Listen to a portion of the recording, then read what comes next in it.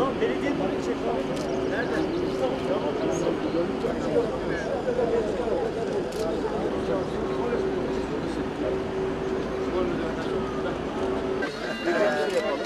Ne binalar yapmışsın? Allah! Sen ne yapıyorsun? Ne zamandan beri yapıyorsun? Hoş geldin. Ay eyvallah. tamam kızım hadi bakalım. Karşıdaki dağları. Oo çok güzel olmuş ama ha.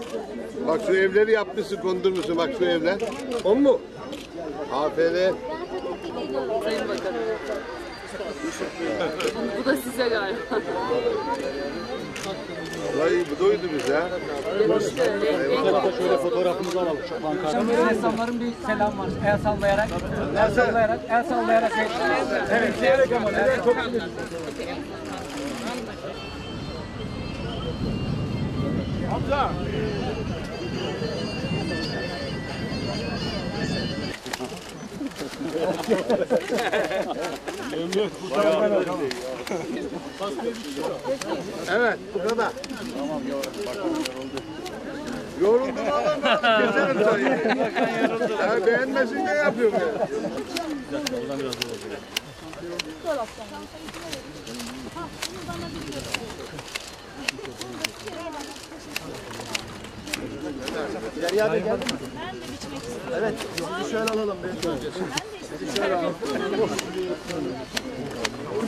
Serpil Hanım bir alalım sizi bu tarafa. Vallahi epey çok görüşürüz. Abdel Bey'e bir yol ver. şey yapsınlar bizimle değil. Tamam onu önce kim dolduracak bu televizyon yarışmalarına benziyor. ben bilmem hanım bilir öyle bir şey var.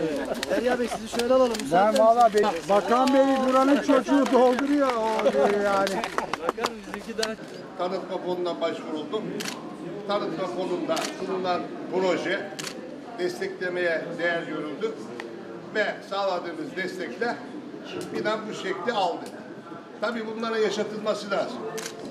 Bunları yaşatmak içindeki faaliyetlerin yoğunluğuyla olur. Yani siz burada ne kadar çok faaliyet icra ederseniz o kadar çok hizmet sağlamış olursunuz. Koruma altına almış olursunuz. Bugün az önce çocukların sergisini izledik. Sulu boya. Şimdi de onların ustalarının sergisini açıyoruz. Hayırlı uğurlu olsun. Peki, hadi besmele ile açıyoruz. Cuma günü Bismillah. Hayırlı uğurlu olsun.